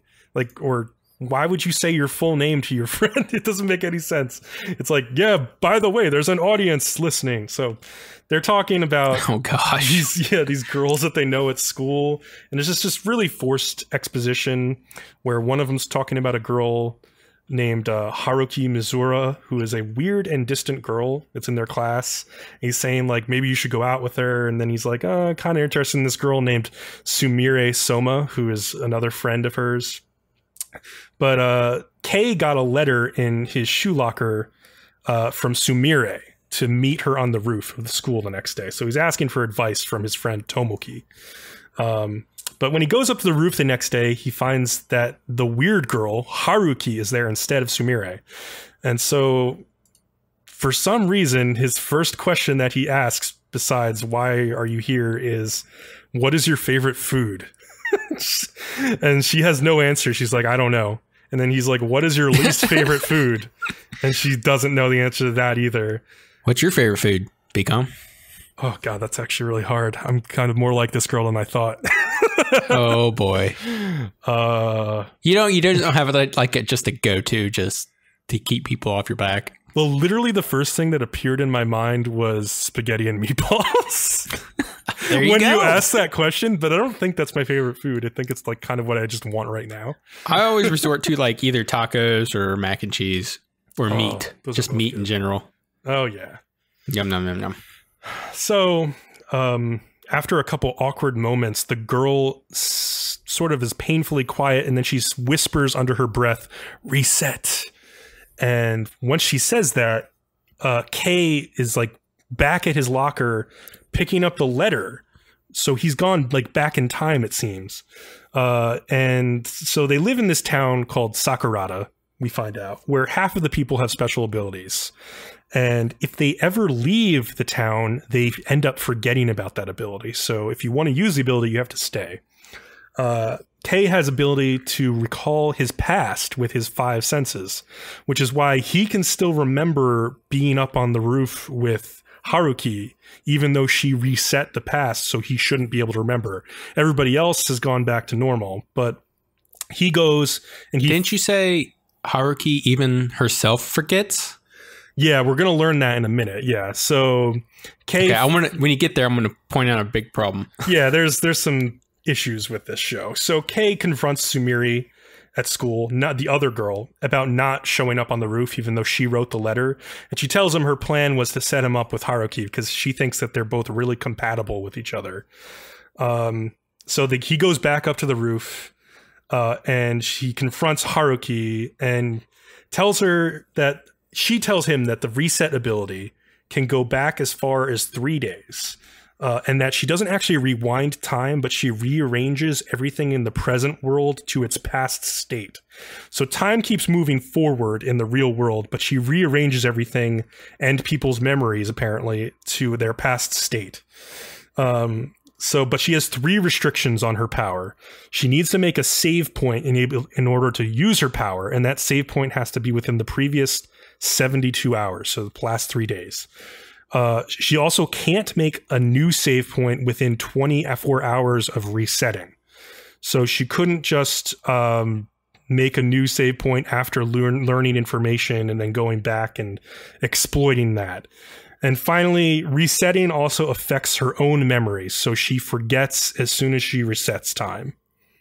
Okay. Uh, explain the save point thing. She can only re- make a save point when? She can only make a save point well, she can only she can only reset to a save point that she made within the past three days and she can't make another save point uh, immediately after resetting. Like within the next 24 hours she can't make a new save point until a full day later after resetting. Can she keep the same save point uh, yeah. So she can reset multiple times to a the same save point, I believe. Okay, well that's my big problem because if she doesn't have her memories, she should be stuck in a time loop long before then, where she did a reset, and basically she just keeps resetting and resetting because she doesn't remember to do anything differently. Yeah, that's what I think too. Like she should run into a problem and react the exact same way, and then reset. Mm-hmm and then run into the same problem. The yep. She has no new information, so how would she react differently? It should play out exactly the same. Yeah, it doesn't make any sense to me. It's just it's just really dumb. So then a whole bunch of so also I, I'm failing to mention that like the character dialogue in this episode, like I said in the first scene, was very forced exposition, but these characters now act and speak to each other kind of like robots do. And there's a scene on the roof where Sumire and Haruki and Kay are all talking to each other, and they're like, "We should find out which of us is the most like an android this summer," which is I don't even understand what that like. Is that supposed to hint that one of them is like actually an android, or that all of them are androids? I think that's what they're trying to hint at. That's just bad writing, dude. Um, but it kind of comes into focus a little bit when Haruki is outside of school and a little girl runs up to her whose name is Mari Kurokawa. And she's upset because she's lost her mom and she can't find out where she needs to go. So Mari, or sorry, Haruki takes uh, care of Mari and like calls Sumire, and Sumire is able to find the mom, and they meet back up. And like when when when the mom takes Mari, she kind of doesn't even look like relieved. She kind of just looks like I don't know, like burdened, like and not even very happy about finding her daughter. It's kind of strange. Um, uh, in between this scene and the next scene, Kay proposes to Haruki that they can combine their powers. They're going to get oh. You said propose to him after and get married. no, not yet. Anyway. uh, so, because if Kei is able to remember and Haruki is able to reset, he could tell her what happened before the reset. And or then- he could abuse this power. Exactly. Haruki refuses because she says she realizes that Kei could just lie to her and then exploit the power of resetting because she doesn't retain her memories. Correct. Um, in a later scene in the episode, Got that thing right somehow. yeah, there you go. Haruki is sitting with the little girl Mari again. They see see each other again, and they're in a park. And Mari is telling her that her mother doesn't love her because she's a fake. Uh, and Haruki tells Kay that she wants to An help her. Android? Yeah, that's what I'm thinking is that she's an android. So Sumire introduces them to the student council president, who has a power that allows him to copy abilities from one person to another. So he copies Kay's memory ability to Haruki by like holding hands with both of them so that she can remember she wants to remember something in her past and she asks to remember being 5 years old. So Kay kind of thinks back to the time when she was five years old because she's connected to her memory. It's kind of weird. And then so she remembers herself being paralyzed by sadness as a kid. And she describes it as having felt the entire world's sadness around her as if it was her own for some weird reason. Uh, and so she was like crippling with depression, basically, crippled with depression. And then at the very end of the episode, Kay tells the little girl, Mari, that the real girl with her name died seven years ago and asks her Dun who, who dun she is. So I think we're led to believe that Mari is an android who the mother has purchased to replace her daughter who died seven years ago. But then somehow regrets it because she doesn't like it anymore because she knows it's an android. That I think- doesn't make any sense. It's probably because, like, yeah, she knows it's an android. She knows it's not her real daughter, so she's just upset by it, even though she she felt felt that she needed it. I'm guessing, but yeah, this God, there was so much complete bullshit, and it was hard to make it through this episode. It was very Ouch. slow. Everybody speaks in a very monotone voice and very robotically. Uh, which I think is probably playing into the themes of the show, but it's also just really, really hard to watch. Um, and I'm like, I'm sure that there will be people who will be watching this show and declaring it as like the most deep and most thoughtful anime of the season. oh but- no, not thoughtful. Come on, I'm already poking holes in it. exactly. I mean, like, God, there's just so much that you have to do a lot in the first episode of anime to hook viewers. And this doesn't do much of that. It presents a mystery, kind of, but it's not a mystery I really care about. And there's going to be 24 episodes of this show, and I don't know if I could sit through 24 more minutes.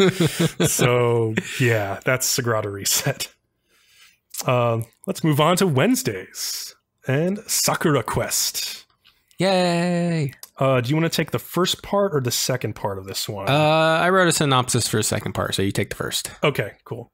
So, Sakura Quest is on Crunchyroll. The studio is PA Works. Uh, the director is Soichi Masui, who's done Chaika the Coffin Princess and recently the uh, Final Fantasy 15 Brotherhood anime. Uh, so, episode one, off to Magical Manoyama. So our main character is a pink-haired girl named Yoshino Koharu, who has, I think, graduated college. She's like in, she's like 20 years old, I think, which is rare for anime to be about 20-year-old girls who are actually out of college.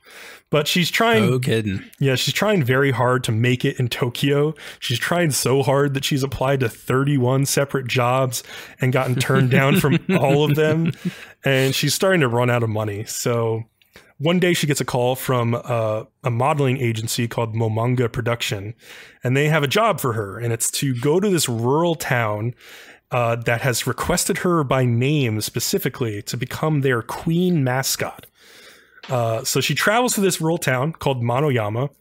And when she arrives, there's like people standing at the train station that have a little banner out for her. Except there was a mistake. Apparently, they requested a girl named Yoshino Subaki, not Yoshino Koharu. And apparently, the kanji are like almost exactly the same. So it's an easy mistake to make. Yoshino Subaki was a pop star who this old guy named Kadota in the town loved, but he didn't realize that she already died eight years ago. So it's like this pop star who he loved growing up, and he was going to invite her back to the town to like bring the town back to like you know being. It was famous. his pop star crush. exactly. So Ushimatsu Kadota, this guy, he's the king of this town. Uh, and he decides to accept Koharu to be the new queen, even though it was just a twist of fate that she ended up there. Um, and so she's going to be crowned the queen of what they call the independent state of Chupacabura, which is what they call their tourist town project.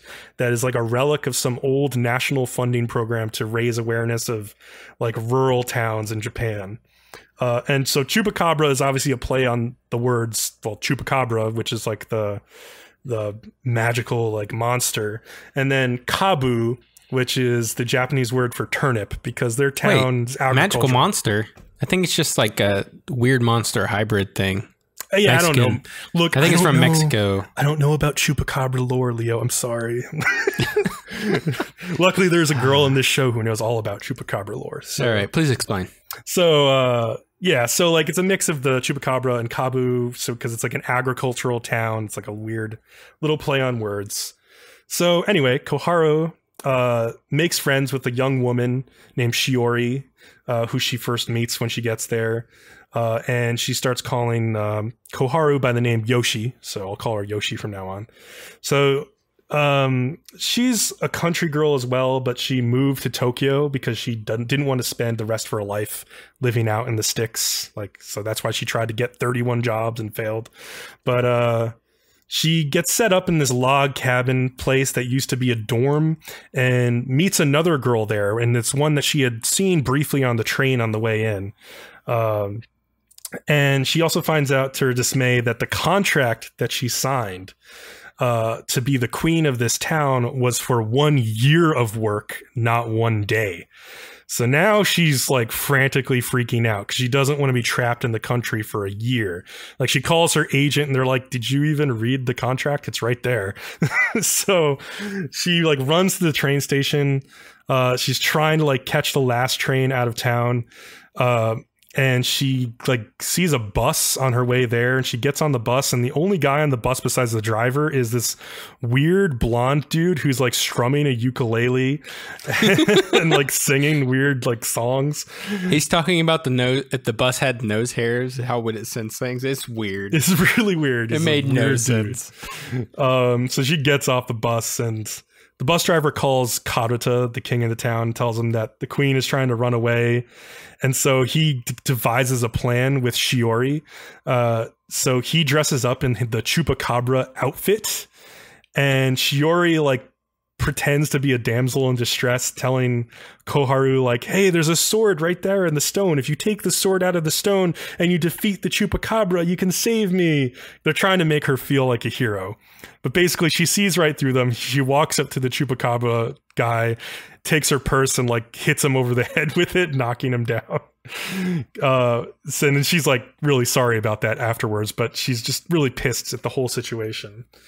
Um but at the end of the episode, Yoshi makes her way back to the place where she's staying, uh, but it's locked. So she instead goes to the community center or something like that to spend the night there. And she finds a bulletin board with pictures of the town. And she sees one picture in particular that kind of blows her mind. It's her.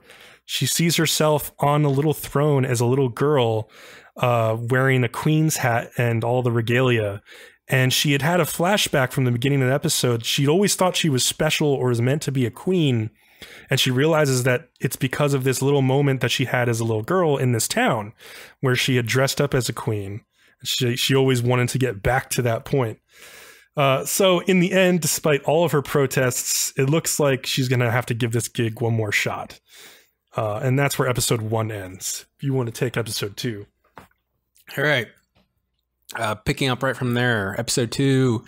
It starts off with um, Kadota. Is that his name? That's how I say it, right? Yeah, Kadota, Kadota, yeah. Kadota. He accidentally ordered a thousand boxes of manju instead of the 100 boxes he initially thought. Uh, Yoshino still wants to go back to Tokyo, but Kadota strikes a deal with her that if she can sell all the boxes within one week, he will forget about the year long contract. Uh, Yoshino, I mean, this is her best way out, so she accepts. Uh, basically, this whole episode is about being introduced to the other girls, considering this episode was called The Gathering of Five Champions. Uh, we immediately get introduced to Ririko, who is supposed to be uh, very shy. Uh, she gives Yoshino the idea to make a new website for the town to help sell the manju, which leads to the need of a web designer. Fortunately, one moved in in last year, and it turns out her name is Sanae, and she's definitely afraid of bugs. It's a really cute scene where like they go to her house and are knocking on the door, and she's not answering because she's on the computer. And did she have headphones on? Uh, yeah, she had headphones on. She yeah, was so like, she didn't hear them knocking, and then like some like bug crawls up next to her. She's writing a, a uh, she's on the blog writing about being in the countryside and listening to the insects and stuff like that. And like some bug crawls next to her, and she screams deathly, and like the the uh, two outside go running inside to uh, be like, "What's wrong?" And they talk to her and eventually convince her to uh, help out. And she's probably the hottest one. I'm just gonna put that out there. It's my opinion. you always got to pick one that's the hottest, especially if we're going to talk about a show where they pre- present all the girls well of age. this is true. Heaven forbid. so Yoshino wants an online store to sell the manju. Uh, Sanae says it would take probably a month to set up an online store, but suggests that they advertise it as you can only get this manju by coming all the way out to their town, thus sounding, you know, more rare in the process. uh, Q scene. Did I skip something? No. No, I don't think so. Okay. Uh, we cue the scene of making a website and getting pictures for it. Uh, oh, there's a little part where they're making the website and they're like, "What should we call Yoshino? Should we call her the beautiful queen?" And Yoshino's like, eh, "That seems like a little too forward." And they're like, "Well, what if we put an asterisk next to beautiful?" And they're like, "Or maybe a question mark, like the beautiful queen?"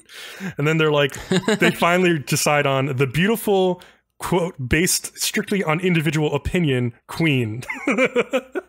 I just like uh, was it this episode or the last episode where they showed up and they found out that the uh, blue hair girl that was staying in the uh uh Maki? Yeah. I think they well they they saw her last episode but then all of the girls showed up and talked to her in this episode.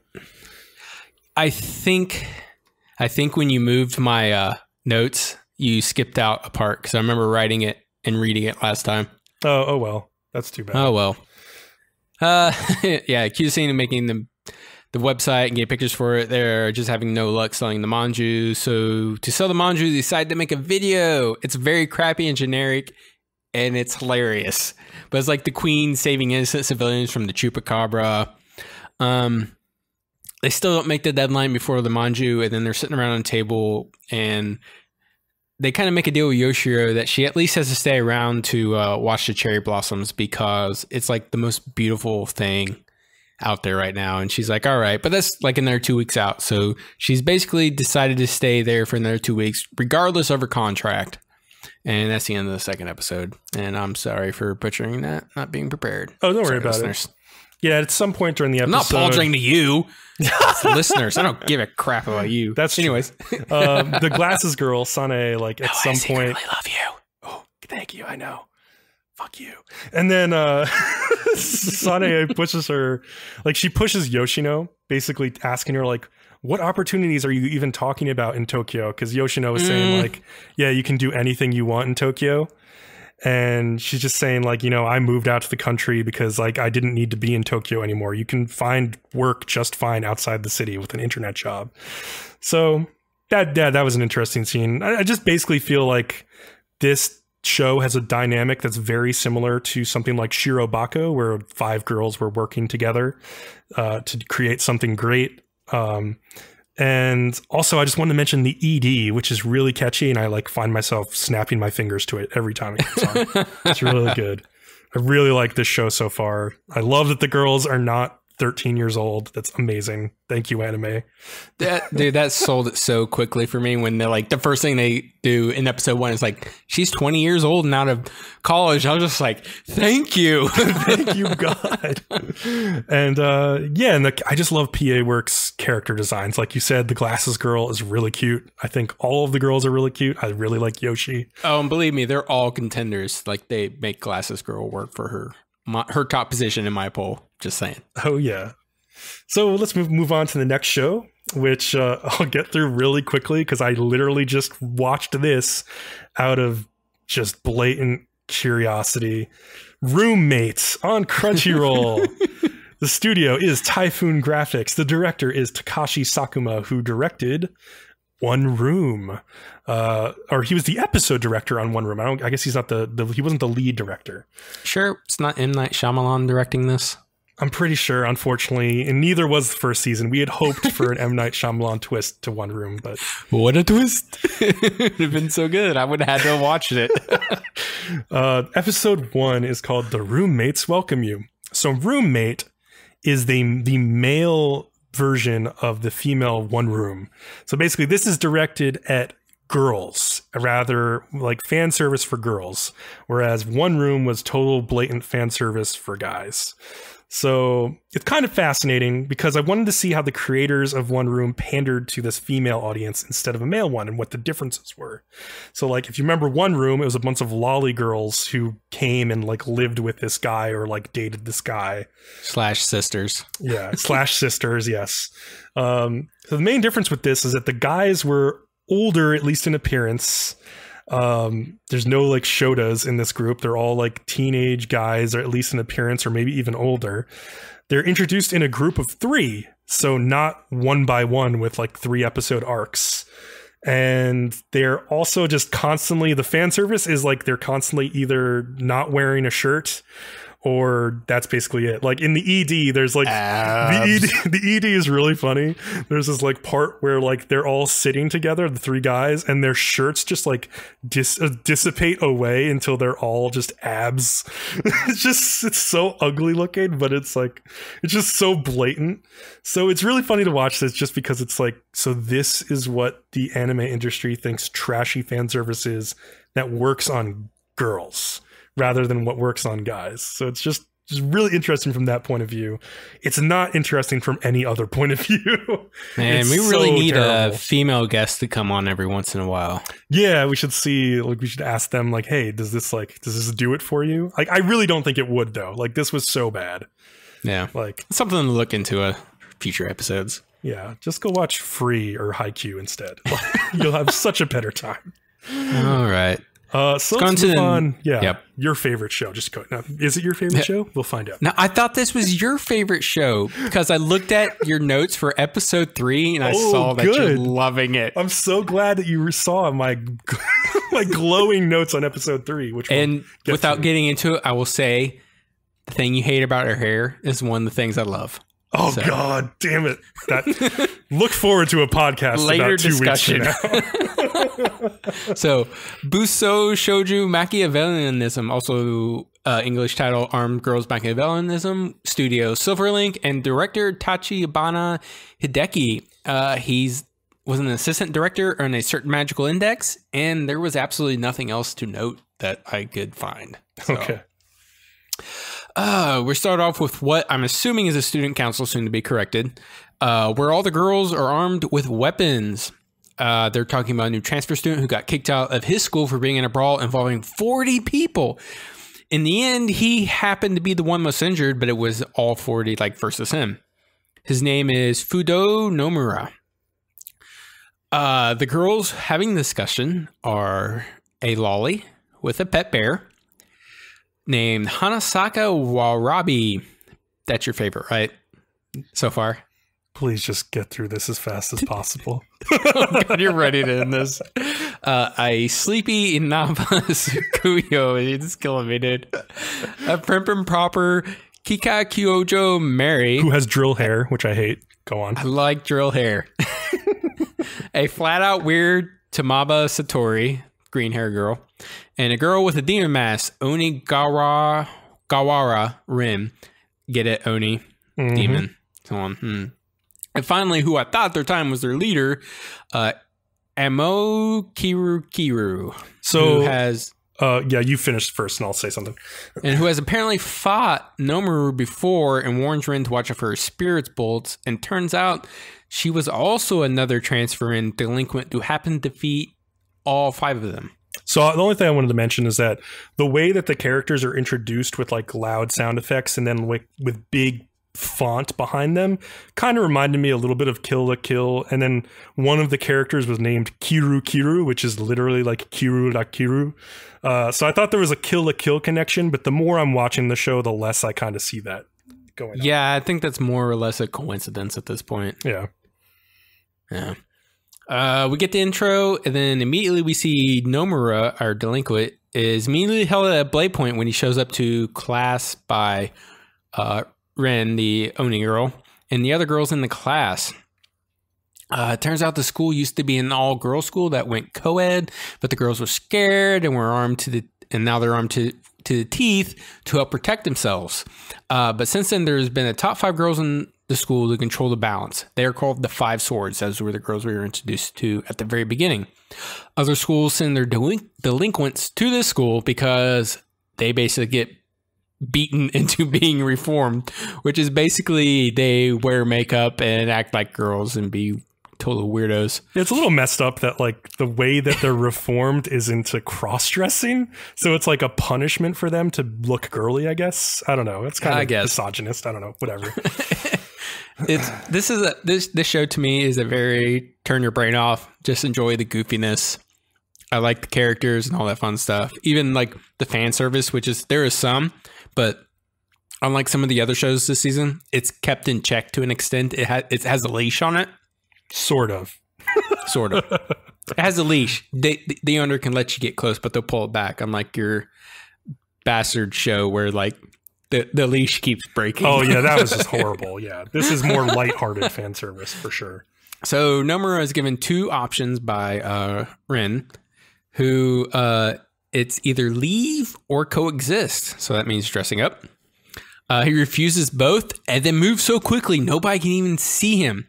Uh, right through one of the other girl's legs towards a window. The girls are like, "Yeah!"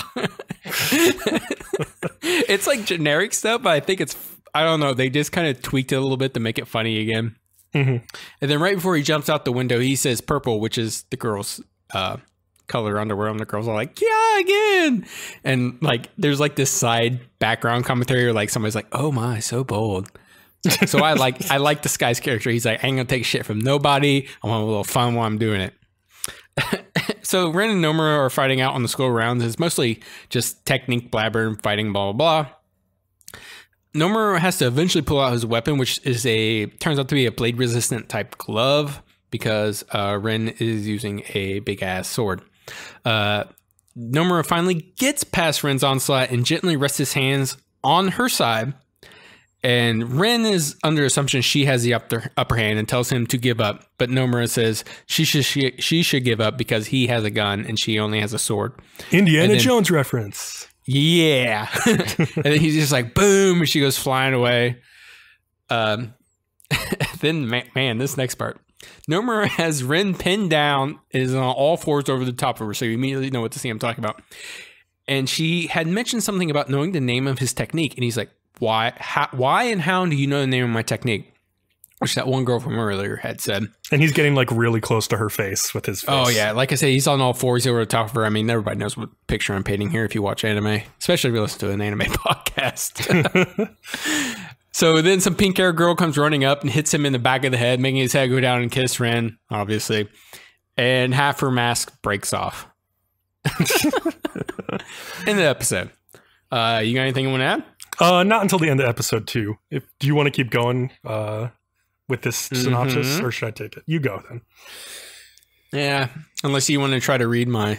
Uh, I can, and then you can comment. Yeah, just to give you a break. So, episode two starts off with uh, Mary Kikakujo's younger sister, whose name is like Choka, or and it's like C. Cho- it's a, she has like a really ri- ridiculously long name, but let's just call her Choka. She also has Yeah, but They call her Choka, but she has a bigger name, which she keeps trying to proclaim on. She's But also a drill haired lolly, which is like my most hated character design ever. I now know your weaknesses. God, this is this is unfortunate. you know my hey, dark Mary secret. way the more makes up for it. She is a very voluptuous drill hair girl. This is true. God, I'll admit it. Then she, Why do uh, you hate drill hair? Because it's like they're always the prim and proper types. yeah, it's just like it's such a weird trope, and I feel like it's. Um, and they've seen this character design so many times before. Like, do something else interesting. But uh, so she's uh closest to the five swords, and she will get revenge for Rin for being held down by Nomura and having her precious lips stolen from her. Uh, and She so, proclaims. yeah, she proclaims this. Uh, Nomura's goal, on the other hand, is just to leave campus. He wants to be able to leave. But to do that, he needs to get a permission slip with a stamp from each of the five swords, the five blades. Uh, so Nomura finds out that uh, he can get things smuggled into school for the right price. So he gets a cake uh, and goes to class the next day uh, to try to appease the girls and get his permission slip signed. Uh, but he notices Rin isn't there and uh, he asks one of the girls in the classroom, "Hey, Purple." He's still calling her by the color of her panties. Where's Rin? Re- And recurring joke. Love it. yeah, and she's like, "Don't call me by the color of my panties, damn it!" So yeah, th- there's it's funny. He's like, he just doesn't give a shit. So all of his jokes kind of come off like funny, funnier than if he was like really insistent about something or Yeah, exactly.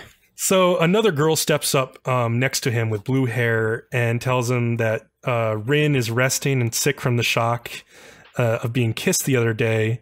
And Norm- Nomura asked asked this girl like, "Where's Rin and what color are her panties?" Like he just slipped that in her, and so the girl's like, "Oh, also her panties are white, I think." like the other girl's like, "Don't tell him that." God damn it! So uh, he goes and uh, goes to Rin's uh, room uh Rin is like kind of like recovering from the battle the day before. She has a fever. Yeah, she's laying in bed and she's like thinking about being kissed by Nomura and she's like that son of a bitch. But then she's also like but it was my first kiss. So she's like falling for him while being really pissed at him because she's a little teenage girl. And so he com- he gets to the room. Love is so confusing when you're so young. Be calm. Don't you know this? Well, I would think that, you know, being sexually assaulted wouldn't lead to romance, but that's just, you know, me.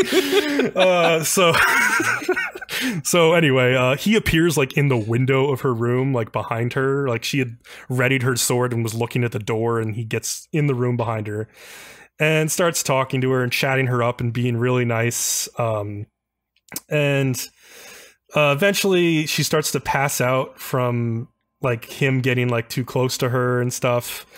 And saying suggestive yeah, things. saying suggestive things. And like she she like uh he catches her by the collar before she hits the ground which of course like pops the top button of her shirt off and then reveals like the cleavage in her bra. And just at that moment uh the pink-haired girl i forget what her name is walks by in the hallway. It hasn't given it to us yet. yeah, she opens the door and she sees this scene, of course. She hits like an emergency button on the wall that causes the entire dorm to go in lockdown. And like so Nomura starts running away and then there's like spike traps and all this shit and blaring. There's even a boulder, so another like Indiana Jones scene. yeah, this whole school is set up to kill delinquents if this kind of thing happens. Um, so he escapes, but he runs into Choka. And so now he's in a ch- fight with Choka and the pink haired girl, whose name is No No. That's her name. Um, Yeah. So Nomura like easily gets them tangled up together by just like sidestepping them.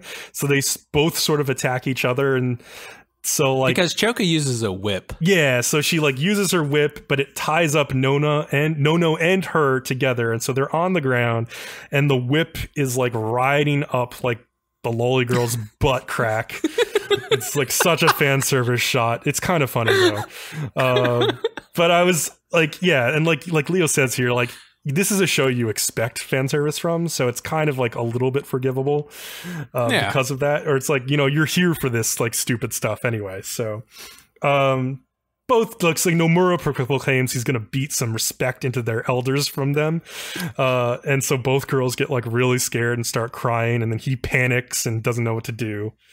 Uh, and after that point, we switch scenes and we get like a kind of sexy shower scene with Mary proclaiming she will get revenge on Nomura for pu- putting his hands on her cute little sister Choka. Exceedingly cute little sister. Like she like stresses this. I love it. Well, you see, she has drill lolly hair, so she's actually not cute. You see, this is how that works. Drill, drill hair is cute, dude. no, it's Come not. on. I hate it. I hated it in ReZero too. Uh, due to his last battle, the misun- misunderstanding. Um, yeah, so everybody is against Nomura, and Rin says she will be supervising him from now on because she's like falling for him. Uh, and honestly, Yeah, that's my. This is mine. oh yeah, then you you Honestly, I believe this is a good show. It doesn't take itself seriously. It does take lots of old gags and stuff that have been done, but just tweaks them. I guess updates them. Yeah. And like I said, I could just turn my brain off and watch it and enjoy it. And I, I think the characters are rather unique and interesting in their own way.